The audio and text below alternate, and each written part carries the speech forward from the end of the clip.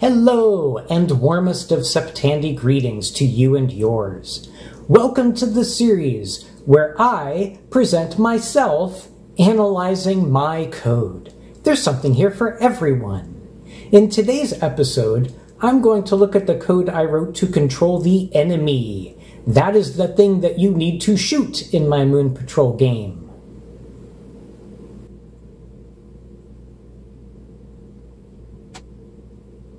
Let's go!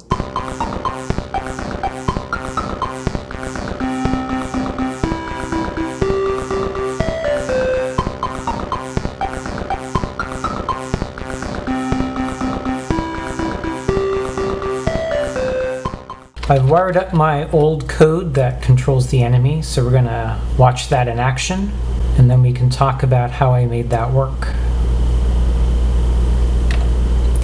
So as soon as I start, you're going to see the enemy start here on the right side. It's going to slide in here, and then it's going to like jiggle wildly over the car. The enemy doesn't shoot anything, and it is so huge, it's very hard to miss it. Even though it is uh, jiggling wildly, I'm going to try to miss it. I'm going to see if I can miss it. Oh yeah, I was managed to miss it. Actually, that should be the game, not not shooting the enemy. Now I'll, there we go. So everything slows down while we make it blow up. And, and there we go, we're back. And, and that's it, that's the enemy. Uh, so let's talk about this marvel of engineering. So starting in this main loop that you've seen a few times already, if we just go to the bottom, uh, that's where the enemy stuff happens. So that's where we call the routine N1XE. And N1XE is really just like a, a little wrapper around the real stuff.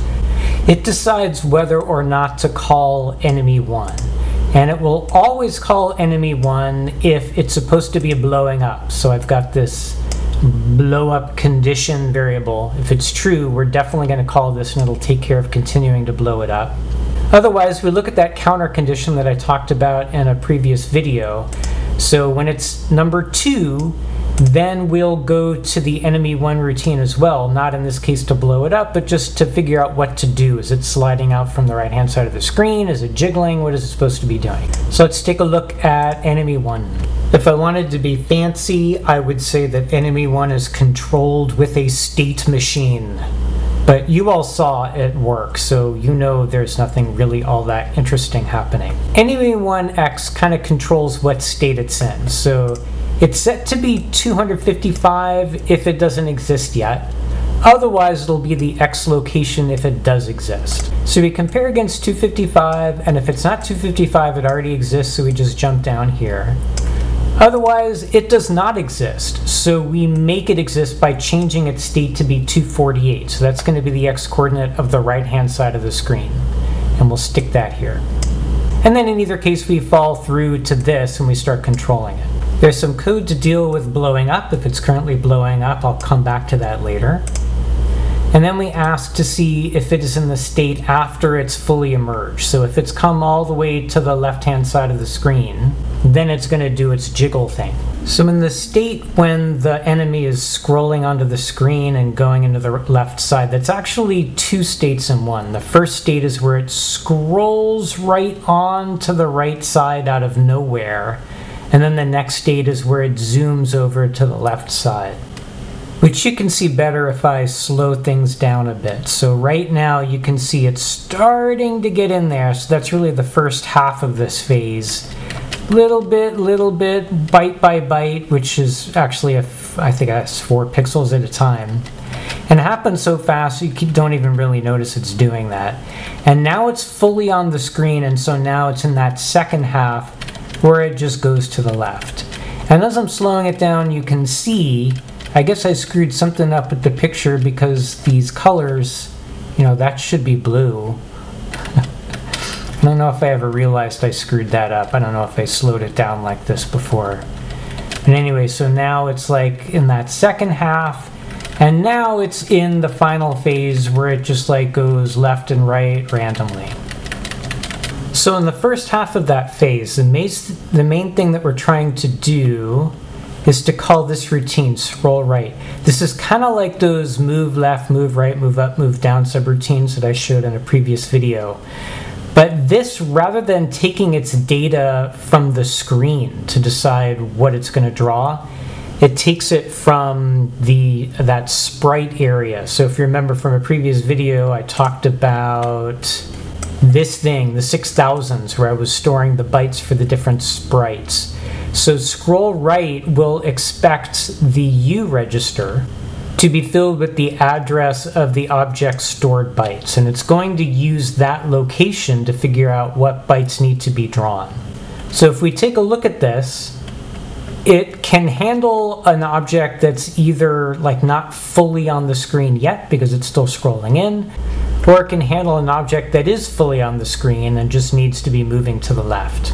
So here is that call to scroll right that we're doing just to get it onto the screen initially. And once we're part past that first half of the phase and we're ready to just scroll it left, that's when we end up here. The second half of that phase is just scrolling it to the left side. And this variable here, enemy one phase, keeps track of which phase it's in. So once it's been scrolled into the screen, then we're at phase one. So if our phase is bigger than zero, then we're going to go here. That means either we're scrolling it to the left or we're actually jiggling it. Otherwise, this code transitions us from having finished scrolling onto the right side to the just move to the left side, the phase one. So at EN 1020, that's when we check the phase again. So if we're still at phase one, that means we're going to be doing the uh, moving to the left. EN1LT does that portion. And E1LT will call this to do the move and then it just has this little home-brewed loop to erase the bytes on the right-hand side that the enemy moved away from, so we can get background color over the pixels that it moved away from. So E1 set is just another caller to scroll right, scrolling in from the right-hand side. So it handles initializing those variables. And at this point, now that the enemy is fully on the screen, sometimes we're going to use the first version of the enemy and sometimes, depending on this condition variable, we're going to use the second part of the enemy. That's how we can get it to look animated as it's scrolling to the left. And then that goes into the U register if that was different. And after it's moved, we check to see if we hit our target zone yet, if we're on the left side and we can start jiggling. And if so, that's when we transition into enemy one phase equals two. So normally once we hit enemy 1 phase 2, then we would branch down to 1040. And 1040 handles the random jiggle. Here's some code from another version. I don't know what to do with this. Ignore it.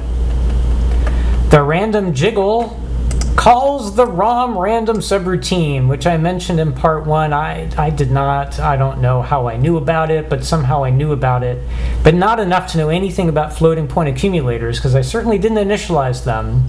I just called this and assumed that in this part of the floating point accumulator, I'll get like something random enough for my needs. My needs were to figure out if an event happens with 3 fourths probability. So I compare the result with 191, and if it's 191 or higher, then it wasn't the 75% event, but the 25% probability event that occurred. And when that happens, I'll branch down here and do a bit of a reversal.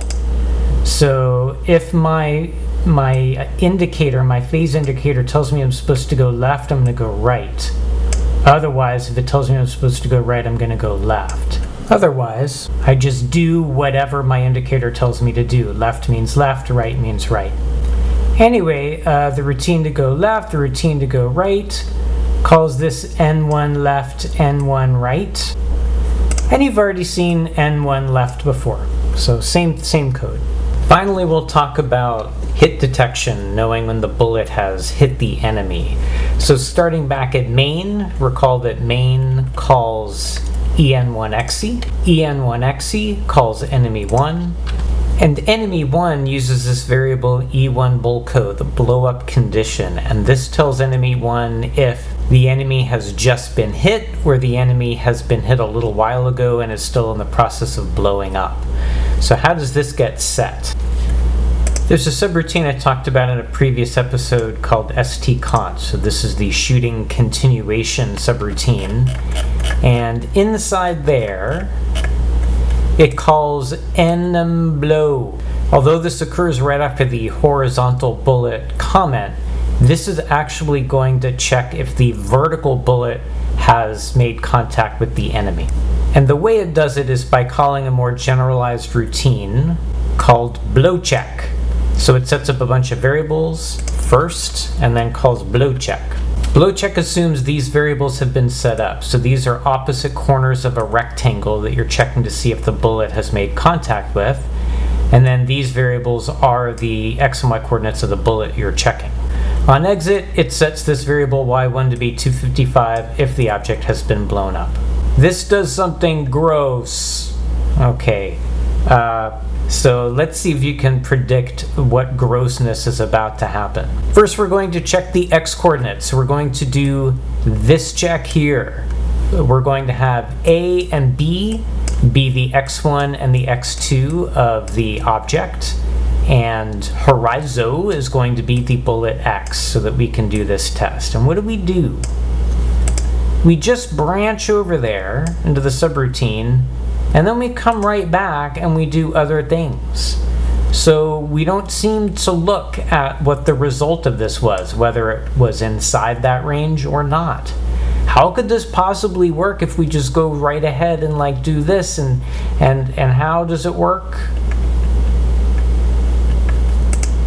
Well, we do our comparison and if it didn't work, then we mess with the stack. So we like undo the first return address on the stack so that this one will take will basically do two returns in one. And then again, we check the second part of the range here.